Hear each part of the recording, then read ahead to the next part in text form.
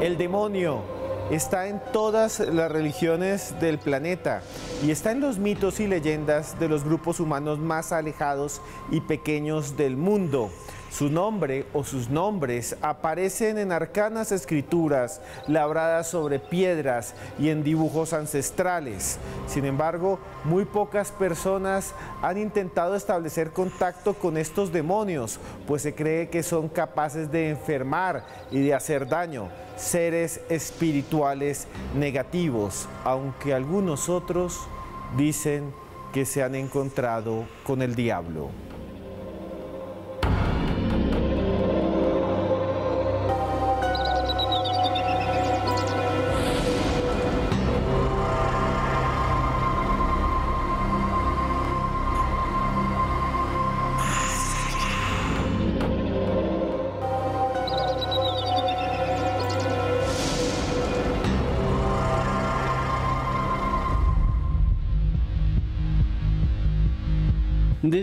Inicio de los tiempos, la humanidad ha creído en la existencia de entidades malignas y retorcidas, monstruos, deidades y criaturas corruptas denominadas demonios, seres capaces de enfermar, matar y de interactuar con las personas según antiguas leyendas. Leyendas como la del Callejón del Diablo de Mixcoac en Ciudad de México,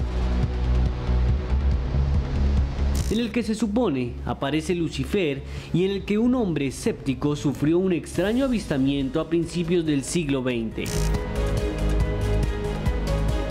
Mientras caminaba por la estrecha vía, el visitante se dio cuenta que una extraña sombra lo seguía. Asustado volvió la vista y observó a un extraño ser que tenía forma monstruosa. Historias que han inspirado películas como Insidious de 2010, dirigida por James Wan, que cuenta la historia de una familia que se enfrenta a un demonio.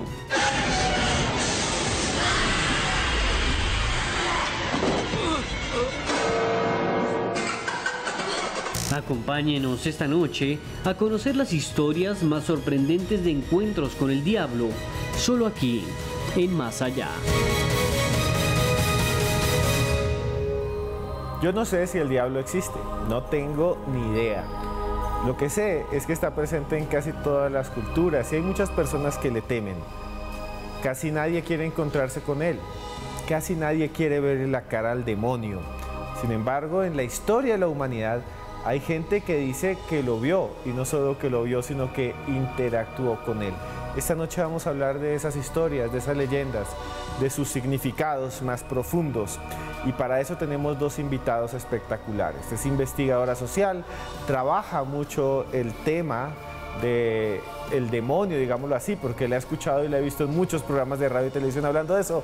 La señorita o la señora Rubiela Hernández. Muy buenas noches, Rubiela. Esteban, buenas noches, ¿cómo estás? ¿Cómo te ha ido? Bien, este tema, yo decía, eh, la presentaba usted como eso, como alguien que, que, ha estado cerca de estos temas porque aparece en radio, en televisión, usted hablando de esto. Eh, ¿Cree que es posible encontrarse con el diablo o es una metáfora de encontrarse con el mal? Yo creo que después de haber investigado tanto sobre el tema y a pesar de saber que hay muchas personas que, que efectivamente eh, lo llaman, lo invocan, lo buscan. Eh, bueno, yo, yo, lo siento a manera de metáfora. Sin embargo, sí son muchos los que lo intentan y hay muchas maneras de intentarlo. Y estos días eh, que he estado tan cercana a estos temas me he dado cuenta de, de una cantidad de aspectos que hay alrededor eh, de esa invocación y ese deseo, el querer estar cerca de esa Y ese tema como que enamora a la gente. Sí. Esto es mi opinión personal, porque usted empieza a hablar del diablo y enseguida le empiezan a decir, ¿le ha pasado ahora que usted ha investigado tanto este tema, Rubiela? Que, que, empiezan a buscarla en redes, que le preguntan, que le dicen hagamos un ritual sí. o algo así. Es extraño, pero sí, generalmente terminados los programas, eh, muchas personas se acercan y quieren saber si sé cómo son los ritos, si estoy interesada en hacer un pacto, si estoy interesada en aparecer en algún rito satánico, eh, o incluso hay quienes eh, aparecen un poco para corregir y decir, bueno, es que las huestes del demonio están conformadas de esta y esta manera, ustedes erraron en esto y esto, o sea, como con mucha precisión, como que se interesan mucho por el tema. Entonces, eh, sí es un tema que es muy vigente. Terminados estos programas, eh, siempre se acercan a querer saber si tenemos más profundización. Eh, tal vez no nos ven como académicos del tema, sino como practicantes un poco. Bueno, y también está con nosotros, es periodista de misterio. Es una persona que también aparece mucho en radio y en televisión y que es amante de estos temas, Hugo Alejandro Bernal. Hugo Alejandro, muy buenas noches. Buenas noches Esteban, un saludo para usted, para Ruby, para todos los espectadores de Más Allá. Esta noche estaremos hablando sobre un personaje fundamental dentro de las religiones monoteístas, en específico del cristianismo. Sería casi imposible entender, el cristianismo como tal sin la figura antagonista del diablo, la representación del mal, un viaje apasionante por la historia, por la cultura pop. Va a estar muy interesante este programa, Esteban. Bueno, usted que es amante, también ustedes dos, eh, nuestros invitados son amantes de la música, son personas que les encanta eh, diferentes géneros. Hugo Alejandro, por ejemplo, sé que sabe mucho de metal y de rock metal porque incluso tuvo su programa radial sobre eso y también eh, aquí Rubiela. Pues bien, hay músicos que dicen que se encontraron con el diablo y esta es una de estas historias.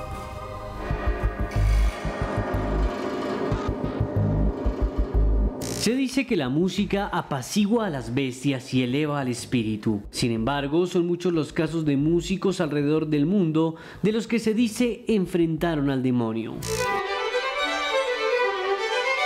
Casos que se reflejan en leyendas como la de Francisco el Hombre, un juglar vallenato que una noche se encontró con otro músico a quien retó en medio de la oscuridad. Francisco decidió seguir la melodía de su adversario hasta que por fin lo divisó entre la penumbra. Enseguida miró al cielo, rezó el credo al revés y entonó la melodía más hermosa y armoniosa jamás escuchada, con la que le ganó el duelo al diablo. Su historia es una de las más importantes del Caribe colombiano y fue retratada en la película Los viajes del viento de Ciro Guerra. Merengue, muchachos.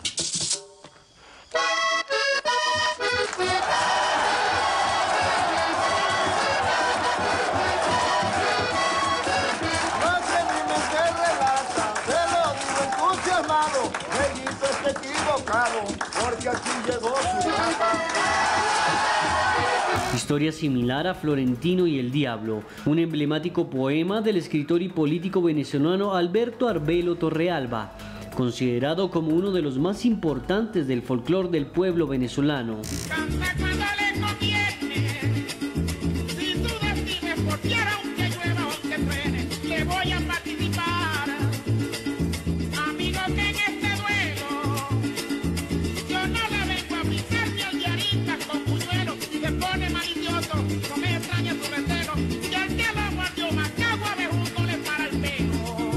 Esconde en estas historias de duelo y enfrentamiento? ¿Es Satanás un espejo de nuestros peores sentimientos? Lo analizamos aquí, en Más Allá. En nuestros países, Ecuador, Perú, Argentina, Venezuela, Colombia, siempre se habla del encuentro con el diablo, con el demonio desde una perspectiva que a veces es más allá de la leyenda, que se conecta con los músicos. Yo quería preguntar eso. Eh, estamos hablando de encuentros de Francisco el Hombre, Florentino, eh, cantantes de rock. Mucha gente que dice que se encuentra con el demonio y que lo retan, ¿no? Es como un duelo. Y al final los hombres ganan o pierden. ¿Qué piensa Rubiela? Y después vamos con Alejandro. Bueno, este es un fenómeno eh, que se puede explicar de la siguiente manera. Hay dos formas de verlo. Está el reto o está el pacto para poder ser mejor músico. El reto es porque Satanás se le presenta al que es un excelente músico y quiere demostrar eh, su poder frente al músico y el pacto es porque el músico no es tan bueno y está buscando ser el más virtuoso en ese momento. Entonces, eh, el reto eh, que se da con Francisco el Hombre, por ejemplo, retrata una parte muy importante del folclore de la cultura caribe colombiana. es un juglar que existió, que existe, o sea, se puede buscar la genealogía del hombre existió. Francisco el hombre es un personaje real, que fue un juglar vallenato, parece ser que bastante versado. Eh, empieza a generarse la leyenda de, en torno a cómo el diablo eh, lo reta con el acordeón y entonces eh, Francisco lo vence rezando el credo al revés, pero no solamente es el hecho del credo y esta conducta leccionante de lo católico, sino también está el hecho de que el vallenato se convierte en luz. Entonces es la luz que eh, saca al demonio a perder. Por ejemplo, en el caso de Francisco el Hombre, en el caso de Florentino, que es de la cultura venezolana, y pues vemos algo muy similar con Juan Harvey Caicedo, con el, tema del espanto, que también es como de la cultura llanera, es, es algo muy, muy por el estilo.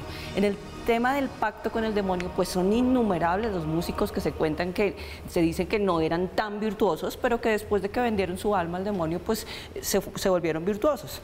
Eh, pues están eh, los músicos que se han escuchado todo el tiempo, Tartini, bueno, eh, los del jazz, hay otros que tal vez no han trascendido tanto en la cultura popular, pero que se sabe, Randy Rose, el guitarrista de Ozzy Osbourne, se dice que era un don nadie antes de empezar a tocar con Ozzy Osbourne. Empieza, toca con Ozzy Osbourne, hace uno de sus mejores álbumes. de hecho, está uno de sus temas allá que se llama Suicide, Suicide Solution eh, en donde un adolescente se quita la vida e incluso llaman a Ozzy Osbourne a juicio porque por la influencia de su música este muchacho se quita la vida. Eh, sin embargo, termina la gira y Randy Rose muere.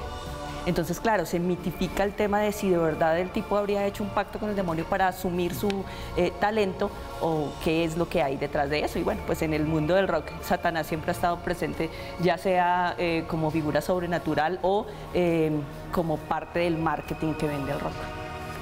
Hugo Alejandro, después de lo que nos ha dicho Rubiela, que, que nos dejó eh, de alguna manera como un abrebocas y esta diferencia entre pacto y reto, también hay duelo, ¿no? Eh, ¿Qué piensa usted de esto? Que usted también conoce mucho de música. Bueno, en, específico sobre hechos documentados de pactos, en este caso de músicos, hay dos casos que me gustaría citar, uno que está dentro de la leyenda y la realidad y otro que es una realidad absolutamente latente. El primero, Robert Johnson, un músico de blues bastante mediocre, quien se comenta que en una noche, en un cruce de caminos, hizo un pacto con el diablo para convertirse en un gran bluesman.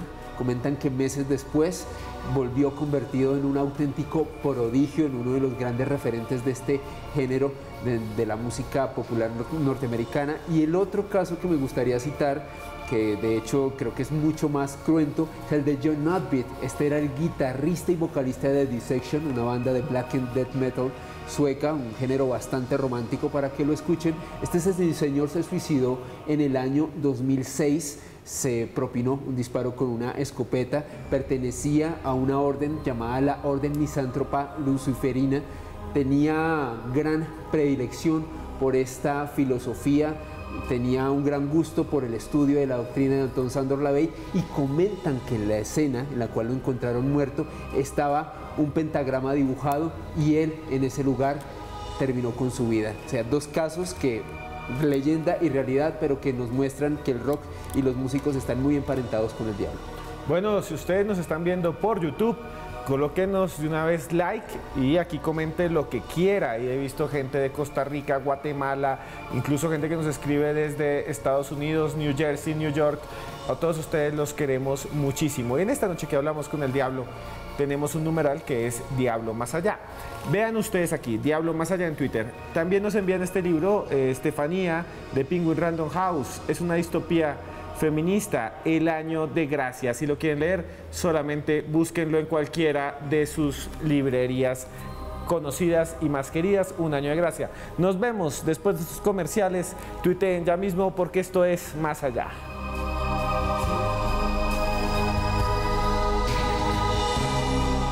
Continuamos en Más Allá en esta noche en la que abrimos las puertas del misterio para hablar de encuentros con el demonio y con el diablo. Y eh, no solo tiene que ver con la música, en toda América Latina también tiene que ver con la fiesta. Hay fiestas de brujos, fiestas de diablos. Hay gente que se disfraza de demonio y hace juegos en diciembre. Se usan, eh, por ejemplo, pinturas, la gente se lanza cosas.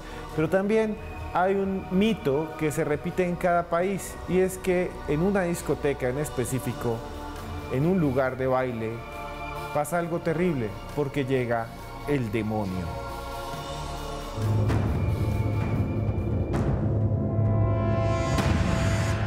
Si existe una historia acerca de demonios que se repite a lo largo del mundo es la del diablo en la discoteca. Una leyenda que narra la historia de un hombre apuesto que llega a un bar a bailar con una mujer a quien le dice al oído que no le mire los pies. La mujer no hace caso, baja la mirada y entra en shock. Al observar, se da cuenta que en lugar de dedos tiene una especie de cascos de toro y un aroma a azufre invade el lugar. Asustadas, las personas huyen de la discoteca, pero sus automóviles no encienden. En ese momento, dos hombres valientes regresan para auxiliar a la mujer y la encuentran inconsciente.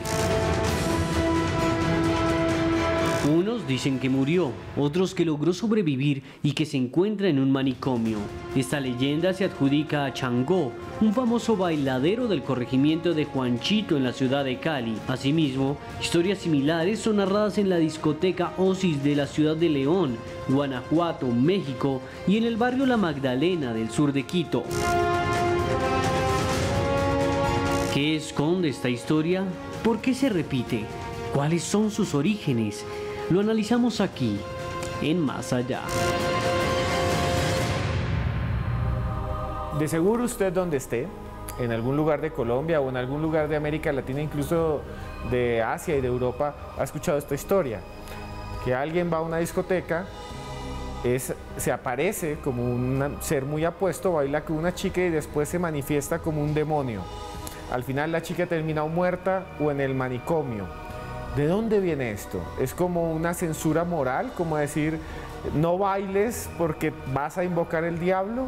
¿O hay algo más? ¿Qué piensa Hugo Alejandro Bernal? Pues Esteban, en específico sobre lo que veíamos en el pregrabado de la historia de Juanchito, aquí en el corregimiento, en el Valle del Cauca, hay algo que han establecido muchos investigadores a lo largo de los años y es que posiblemente esta historia es básicamente una leyenda aleccionadora para que los jóvenes no salieran a divertirse en una época como en la década de los 90 en la ciudad de Cali, muy específico en esta zona del país, en donde pues básicamente se vivía en una cultura de narcotráfico y aparecían muchos hombres que se ganaban la vida de una manera no muy legal que según pues comentan los testimonios solían cortejar a las damas que asistían a este tipo de discotecas. Entonces yo creo que en el fondo, y creo que es algo que se ha visto representado en muchas partes de Latinoamérica, la figura del diablo en esta parte del mundo también conlleva una eh, figura, por decirlo así, moralizante, aleccionadora. No sé qué piensa Rubiela. Por, por, ejemplo, yo he visto muchas veces que el diablo también se conecta con la fiesta, ¿no? Entonces hay gente que dice, hoy es fiesta del demonio o vamos a pasarla, vamos al infierno o cosas así. ¿Qué piensa usted de esta historia del diablo de la discoteca? En Colombia en particular tiene una connotación y es que esto sucede en Semana Santa. Entonces el diablo se aparece en la discoteca ya sea jueves o viernes santo y lo está haciendo porque eh, en la creencia del catolicismo Jesús está muerto el jueves, el viernes santo. Entonces, como Jesús ha muerto en Viernes Santo, el demonio está libre en el mundo para hacer lo que quiera. El demonio está eh, de rumba, incita a la rumba. La rumba es una de las maneras de caer en el pecado. Y pues esto hace eh, parte de un grupo de creencias que está alrededor de la Semana Santa. Entonces la persona eh, va, se divierte, pero sucede esto y adicional a, todo lo que nos mostraban en el video, hay una eh, particularidad y es que cuando van al baño de la discoteca, el diablo ha dejado un mensaje escrito en el espejo del baño. Y ese mensaje eh, en rima, bueno, en los diferentes países está puesto de diferentes maneras, pero es básicamente como la lección de Jesús está muerto, yo estoy de licencia y yo puedo llevarme las almas que quiera. Entonces, claro, tiene eh, algo moralizante y sobre todo sucede alrededor de, las épocas de Semana Santa en donde se supone que son fiestas de guardar y vienen pues de... Eh, creencias antiquísimas acerca de lo que debe o no debe suceder en época de Semana Santa. Y hay una frase, Alejandro, que es muy conocida que es, el diablo baila en Semana Santa, o el Viernes Santo es el día del diablo, para que salga a bailar. Eh, estos encuentros con el diablo ya no son duelos, ya no son pactos, son más bien encuentros aterradores, en los que al final la víctima termina muerta o loca. ¿Qué piensa usted de esto? Bueno, está directamente ligado con las creencias del cristianismo que establece, bueno, en específico del catolicismo que establece la Semana Santa como una semana mayor de mucho recogimiento de espiritualidad, en donde desde luego se debe censurar todo tipo de alegría banal, como por ejemplo puede ser irse a bailar en una discoteca. Y en este punto pues llega como esta metáfora de esta figura, este hombre muy apuesto. También entiendo que hay otras partes de Latinoamérica en donde no han hablado de un hombre, sino también de una mujer muy atractiva que aparentemente tienta a los hombres y que a su paso va dejando un enigmático, un extraño olor de azufre en el paso por la discoteca. Bueno, señores, nos vamos a comerciales y yo les recomiendo este libro que nos envía Urano Libros, Una educación mortal. Una educación mortal, uno de los libros más interesantes de fantasía publicado por el sello Umbriel en los últimos años, gracias a Urano Ediciones Colombia. Lo consigue en cualquier librería del país o de su país. Si le gusta la fantasía, léalo, porque leer es cultura. Ya volvemos aquí en Más Allá. Se les quiere mucho. Continuamos en Más Allá, en esta noche en la que hablamos del demonio y de los encuentros con el demonio.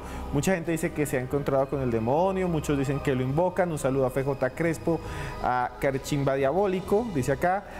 Está por ahí em, Gustavo Rodríguez, Tulio Fernández, que dice que él tiene el demonio adentro, y muchos otros más. Un saludo grandísimo a la gente de Ecuador, a la gente de Cali, en Colombia. A mí me pueden seguir y sugerir eh, ideas para el programa como arroba Cruz Escribiente.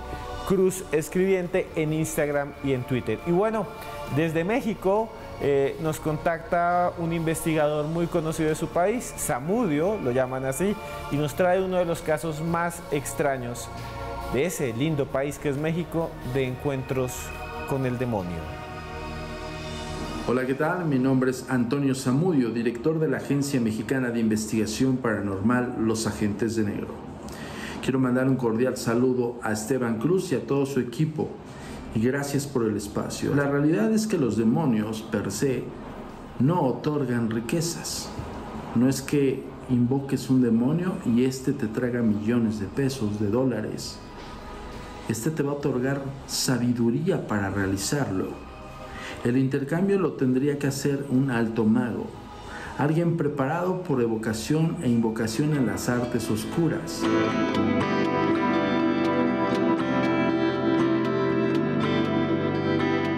Nuestros casos de los archivos de la Agencia Mexicana de Investigación Paranormal es en el 2006. 30 de abril principalmente, aquí en México se celebra el Día del Niño. Pero en la noche, al caer las 12 de la noche del 30 de abril, se celebra un sábado alemán denominado la Noche de Valpurgis. Esta noche es especial para las brujas. Se juntan y realizan una pila de fuego y en esa pila de fuego hacen un tributo para entrar en comunión con este dios pagano. Las que son de alto rango, como esta que investigamos, tienen cetros especiales o báculos o bastones rituales, y en los cuales se puede denotar estas inscripciones. Y justo lo estamos tomando muy en cuenta en este capítulo de pactos con el diablo o con demonios, es la rúbrica que aparece en esta inscripción. Pertenece un duque negro.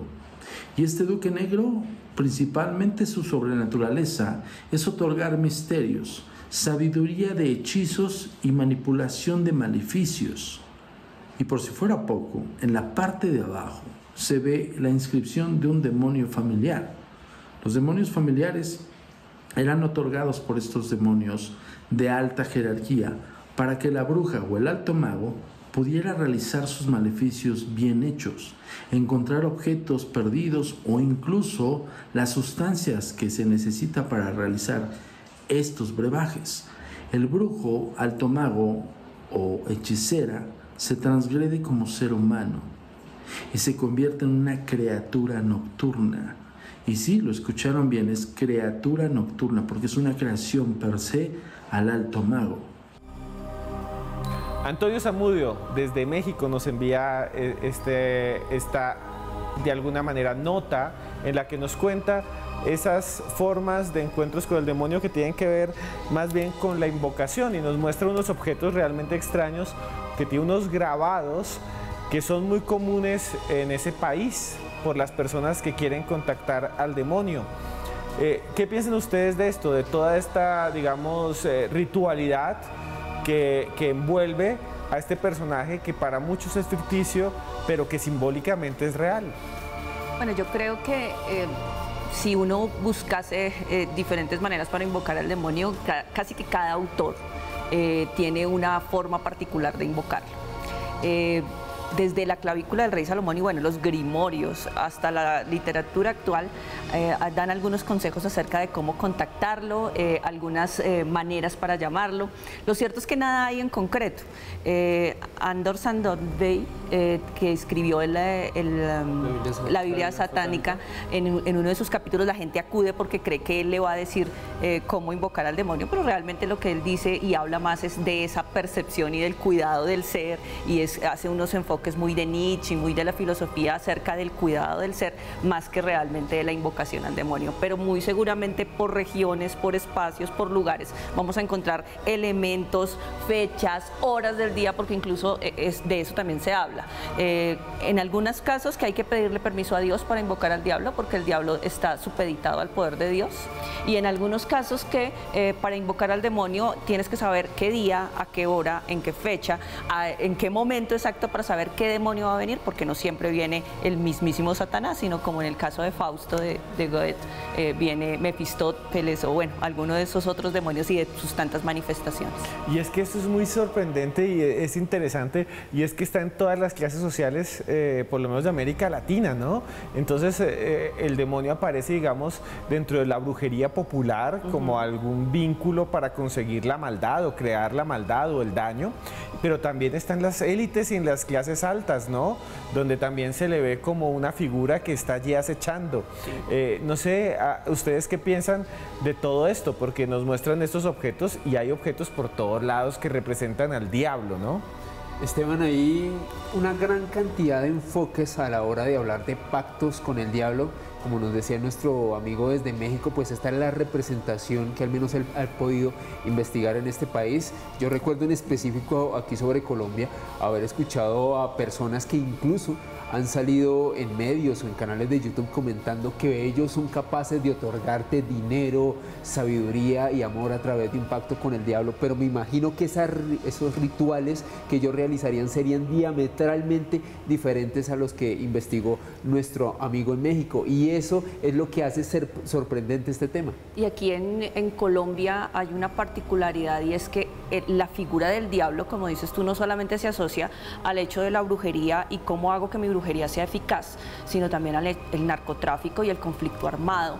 Todo el tiempo está eh, transversalizado por este tema misterioso y se dice, dependiendo del actor que lo cuente, que tiene el poder de, invocarlo. De hecho, en algunas extinciones de dominio que se han hecho de algunos casos famosos en Colombia, se han encontrado elementos que prueban que las personas tuvieron algún tipo de eh, ceremonia o eh, llamamiento al demonio de alguna manera. Y es que aquí eh, es interesante y es que el demonio, a pesar de que es invisible, eh, es real para la gran mayoría de la población, es algo que existe, Claro. que, que está presente en todos lados. Entonces por eso la gente dice, como nos escribía Tulio Fernández, que tiene el demonio adentro. Entonces hay gente que, yo he escuchado criminales, yo que he hecho entrevistas a criminales, que dicen, no, es que ese momento me poseyó una fuerza demoníaca y por eso fui así y por eso maté así como una excusa estúpida que dicen, Claro. para justificarse, pero en el fondo el demonio está presente alrededor de todo, sobre todo de lo malvado, ¿no? Del crimen, del narcotráfico. En las cárceles es común eh, que algunos patios de algunas cárceles sean lugares consagrados para llamar al demonio. Algunos que ya son delincuentes que están allí pagando condena, eh, es común dentro de los recorridos o en los procesos de investigación que he acompañado, hay lugares específicos en las cárceles para invocar al demonio. Entonces, eso denota que está asociado a la maldad y que está adicional eh, presente, vivo para ellos. Sí, Alejandro, y hay además cosas que aparecen eh, todo el tiempo, ¿no? En cada pueblo de América Latina hay una piedra del diablo, un, cañón del diablo, el camino del, diablo. del diablo aquí en Colombia. Y, muchos lo asocian como con lugares donde hay maldad o donde se encuentra o alguien se encontró con el demonio. O también lugares donde ocurren tragedias y esas tragedias estarían permeadas por la fuerza oscura, por la figura del diablo. Realmente es algo pues enigmático y que tiene muchísimas representaciones en toda América Latina. Bueno, señores, no se muevan, no se muevan, porque ya volvemos en más allá. Los dejamos con este libro, Los Medici, la conspiración Medici. Nos lo envía Planeta de Libros. Tatiana de Planeta de Libros Colombia nos lo envía. ¿Saben quién lo recomienda? Lo recomienda nada más y nada menos que Humberto Eco. Así que búsquelo en cualquier librería del país. Muchas gracias. Ya volvemos aquí en Más Allá para seguir hablando de encuentros con el demonio.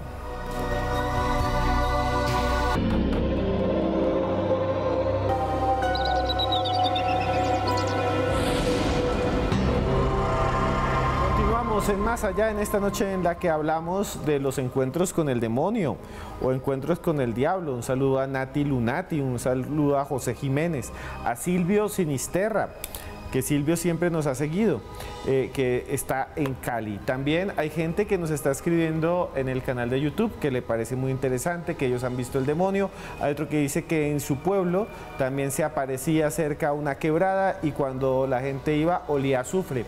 Hay muchas historias así y hoy nos escriben con el numeral Diablo Más Allá. Pues bien, Joana Arenas nos trae otra historia en esta su sección Más Allá Plus. Muy buenas noches, Joana.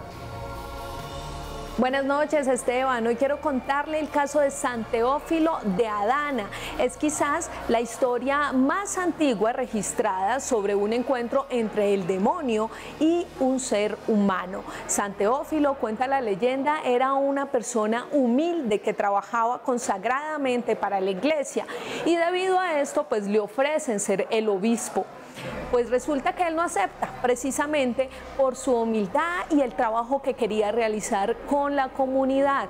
Pero muchos rumores a partir de allí se gestaron alrededor de este personaje. Tras estos rumores, pues el obispo elegido decide apartar a San Teófilo de la Iglesia Católica, de su trabajo de toda la vida. Es allí precisamente donde San Teófilo de Adana cae en una depresión absoluta, en un desasosiego, no sabe qué hacer con su vida. Y en ese instante llega el demonio, se le aparece y le asegura precisamente que puede buscar ayuda para que vuelva a obtener lo que tanto desea. San Teófilo se acerca a un hechicero tratando de que éste le ayude y le devuelva su trabajo con la comunidad comunidad hacen un ritual muy específico y es allí donde en medio de toda esta situación aparece el demonio. El demonio que además aparece con un documento, con un pacto para que Teófilo lo firme y así pueda devolverle su trabajo. Al día siguiente el obispo que lo había destituido decide buscarlo, pedirle perdón y reintegrarlo a sus labores y a partir de allí empieza también a tener una vida muy triste y agobiada. Va a la iglesia todos los días pidiéndole a la Virgen María que lo perdone y lo ayude a eliminar ese pacto que había hecho con el demonio. Días después, la Virgen se le aparece, hace presencia frente a él y le dice que le va a ayudar. Cuenta la leyenda que la Virgen baja hasta el infierno y rescata el documento. Cuando regresa le presenta a San Teófilo ese documento y él en medio de su llanto acude al obispo, le cuenta lo que sucedió y ellos deciden quemar ese pacto firmado con sangre. Resulta que al siguiente día San Teófilo de Adana aparece muerto, ha fallecido, pero siempre asegura la leyenda tranquilo de haber roto ese pacto que había firmado con el demonio. Como le digo Esteban, esta es la primera historia registrada sobre un encuentro entre un demonio y un ser humano. No sé si ustedes tengan más información de este caso, los invito a que sigan debatiendo y nosotros nos vemos en ocho días con otro Más Allá Plus. Muchas gracias, Joana. Esa historia me recuerda que muchos de los encuentros con el demonio sirven para reafirmar la fe o se utilizan para eso en las escrituras. Jesucristo mismo se encontró con el diablo, ¿no? No sé ustedes qué piensan de esto. Hay muchos santos que se encontraron con el diablo, el diablo la tentación. A San Antonio se le presenta, por ejemplo, como una mujer desnuda que quiere tener sexo con él. A los monjes ascéticos les llevan comida, pero es el diablo. No sé ustedes qué piensan de estos encuentros que sirven de pronto para reafirmar en las historias y en las geografías la santidad, como que yo no me dejo. Pues Esteban, al respecto de esta historia de San Teófilo de Adana, eh, recuerdo de inmediato, por ejemplo, una de las figuras más importantes dentro de la Iglesia Católica, el Papa Silvestre II, el Papa del año 1000, el Pontífice 39. Se comenta dentro de las leyendas oscuras alrededor de este sumo pontífice que él había realizado un pacto con el demonio y el diablo le había asignado un súcubo que aparte de compartirle conocimiento le otorgaba los placeres de la carne. Al parecer este demonio femenino había renunciado a la inmortalidad con tal de convertirse en la concubina del Papa Silvestre II. Lo más alucinante de esta historia es que muchas personas al día de hoy creen que esta concubina este antiguo demonio y el Papa Silvestre fueron enterradas, enterrados en la misma tumba y es al día de hoy una de las leyendas más oscuras alrededor de los pontífices y los demonios que vienen a tentarlos. No sé, Rubiela, eh, hay, también como esta idea eh, dentro de la religión eh, católica de que el diablo eh, es como una prueba para los santos, ¿no? Como que aparece y el santo tiene que mostrar que no se deja tentar, ¿no? La tentación del demonio. Es, el pacto tiene esta particularidad y es que es algo que se puede romper.